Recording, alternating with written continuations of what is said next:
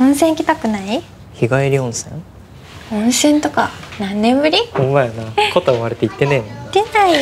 じゃあ Google で調べてみようか。ここから湯原温泉まで。出てきとるよ。ほんま？行きますか？